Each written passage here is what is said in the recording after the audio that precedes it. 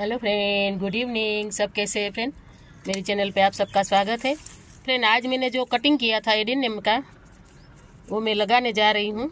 सूख गए। तीन दिन हो गए आज। तो मैं रेत में लगा रही हूँ। ये सब कटिंग, देखिए नीचे से सूख गया है पूरा। तभी लगा सकते हैं फ्रेंड। नहीं तो नहीं लगा सकते। जो इसके पीले पत्ते हैं, वो निकाल दूँगी मैं। मैंने वो लगाया था साफ़ पाउडर। वो रखा था। अब नीचे से बराबर अच्छे से सूख गया है तो अभी मैं लगा रही हूँ। जो पत्ते खराब हो गए, वो निकाल दूँगी। तीन दिन हो गया है तो मैं लगा रही हूँ फ्रेंड छोटे छोटे मैंने प्लास्टिक के डिस्पोजेबल कप कप आते हैं ना, उसमें लगा रही हूँ, रेत में। फ्रेंड मेरे पास ऐसे डिस्पोजेबल कप है। देखिए, इसमें मैंने नीचे नेट रखा है और रेत लगा दी है इसमें धो के इसमें मैंने भिगो दी थी रेत और धो कर इसमें ही धोई है मैंने और ये सब मैं भर रही हूँ। देखिए, और इसमें रेत में ही लगाऊँगी। इसमें होल बड़ा किया है मैंने बहुत ही, ताकि इसमें पानी ना रहे। देखिए, सब में होल कर लिया है। इसमें पड़े हैं, धोए हैं मैंने। देखिए बड़े बड़े होल कर लिए हैं और इसमें रेत है। नीचे एक छोटा सा मैं नेट का टुकड़ा रख देती हूँ, फ्रेंड, ताकि इसमें पानी, रेत न बाहर जाए इसलिए। देखिए ऐसे।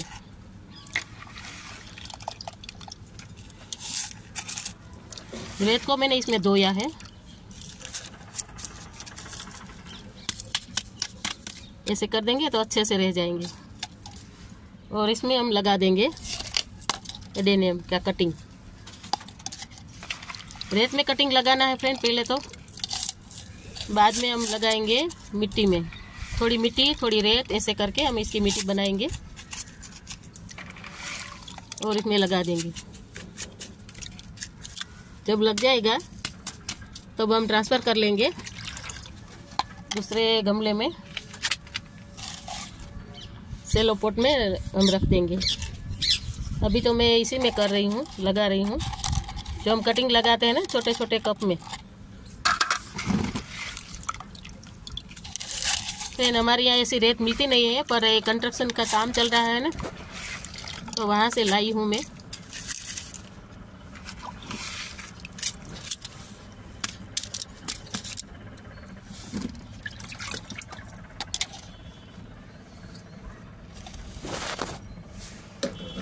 तो इसी में छोटी सी नेट का टुकड़ा लगा रही हूँ मैं, ताकि रेत बाहर चली ना जाए। नहीं तो होल बड़ा है तो रेत चली जाएगी, और पानी तो मैं डालूँगी तो पानी नहीं रहेगा इसमें। पानी निकल जाएगा। ये रेत लगाई है ना, डाली है ना मैंने तो नीचे नेट लगाई है ना तो पानी भी नहीं रहेगा। देखिए ऐसे सब मैंने कब भर लिए हैं। और सबके मैंने पत्ते निकालने हैं। जो मुरझा गए ना, पत्ते तीन दिन से पड़ा है। जो खराब हो गए, वो पत्ते ही निकालूँगी और ऐसे में लगा दूँगी। फिर इसमें मैं साफ़ पाउडर का पानी दे दूँगी। बस ऐसे ही लगाना है फ्रेंड, एडेनियम को।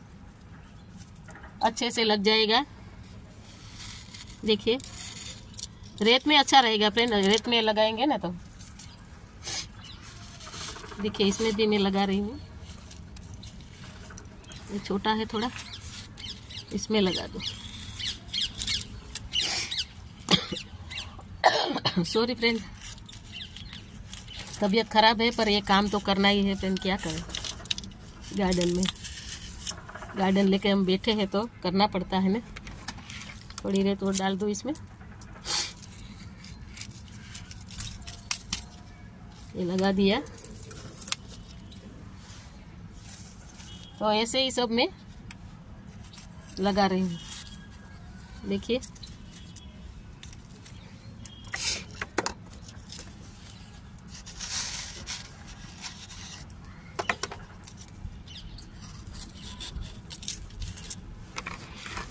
थोड़ी और मैं रेत डाल दूँ।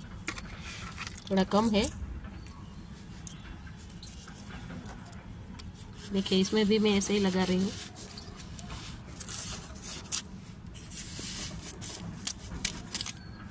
तो सब अच्छे से लग जाएँगे।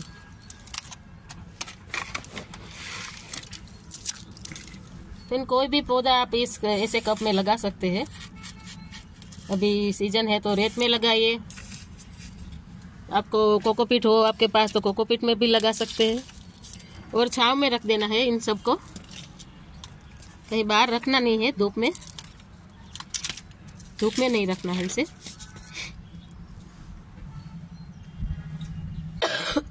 सॉरी फ्रेंड खांसी हो रही है मुझे।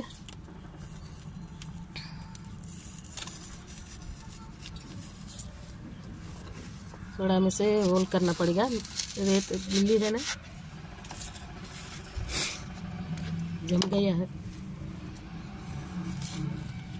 मैं ऐसे ही फ्रेंड हर साल करती हूँ। और पौधे बना लेती हूँ।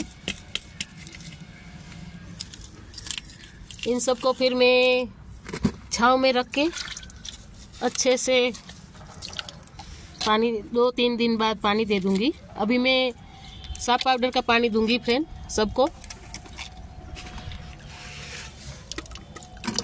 ताकि इसमें कोई फंगस ना लगे। ये मैंने रेत धोई हुई है। इसमें भिगो दी थी मैंने। देखिए। और ऐसे में लगा दूँ।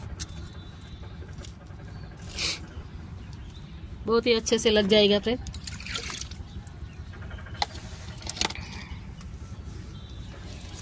पहले नेट का टुकड़ा छोटा सा डाल दूँ और रेत डाल दूँ।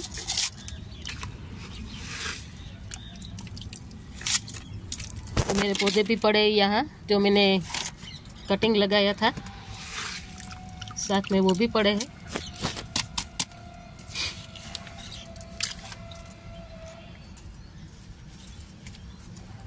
छोटी बस, बड़ी सब कटिंग मैंने इसमें लगानी है। तो देखिए फ्रेंड, ऐसे ही लगा दीजिए आप भी। ऐसे कप में और छाव में रख दीजिए। धूप अभी नहीं देना है। थोड़ी ग्रोथ हो जाए, बाद में आप धूप में निकालिए। अच्छे से। एक दो पत्ते नए आ जाए ना, इतने इतने पत्ते छोटे छोटे निकले, निकल जाए तो आप धूप में रख दीजिए। अच्छे से आपका एडेनियम ग्रोथ करेगा। अब इसमें मैं साफ़ पाउडर का पानी दे दूँगी, रेत गिली है, फिर भी थोड़ा थोड़ा मैं साफ़ पाउडर घुल के सबको थोड़ा थोड़ा दे दूँगी, ताकि इसमें कोई फंगस ना लगे, क्योंकि एडेनियम में फंगस जल्दी लग जाता है फ्रेंड तो ख़राब हो जाता है। और पानी बहुत देना नहीं है फ्रेंड ये रेत पूरा सूख जाए। थोड़ा गीला रहे, एकदम सूखना नहीं है। थोड़ा गीला रहे, तब पानी देना है। क्योंकि ये कटिंग है ना तो पानी तो देना ही पड़ेगा। बहुत सुखाना नहीं है। जो बड़े एडेनियम है, उसमें मैं पानी एक दिन छोड़ के एक दिन देती हूँ। गर्मियों में रोज़ देती हूँ। तो फ्रेंड इसे रोज़ नहीं सुखाना नहीं है, बिल्कुल इसकी रेत सूखनी नहीं चाहिए। क्योंकि कटिंग है ना, सूखेगी तो ये कटिंग ख़राब हो जाएगा। पानी तो चाहिए, थोड़ा मॉइस्चराइजर चाहिए फ्रेंड मॉइस्चर मिट्टी चाहिए इसे। तो आप रोज़ नहीं डालें, पर देख कर पानी देना आप तो अच्छे से आपके एडेनियम ग्रोथ कर ग्रोथ कर जाएँगे, नए पौधे भी बन जाएँगे। तो बाय फ्रेंड मेरा वीडियो देखिए ज़रूर। बाय देखिए, मैंने लगा दिए इस थर्मोकोल के बॉक्स में मैंने सेट करके रख दिया है, सब पौधों को। देखिए, मैं छाँव में रख दूँगी ये सब। और सूखने नहीं दूँगी फ्रेंड इसे मैं अभी पानी दे दूँगी तो अच्छे से वो ग्रोथ कर जाएगा।